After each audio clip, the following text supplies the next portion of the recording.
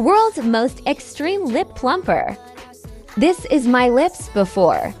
Step 1 Prep the lips with the Daily Lip Plumping Fix. Step 2 Apply the volumizing lip plumper and let it sit for 5 minutes. Oh my god, it burns. Step 3 Apply the Hyaluronic Lip Plumper.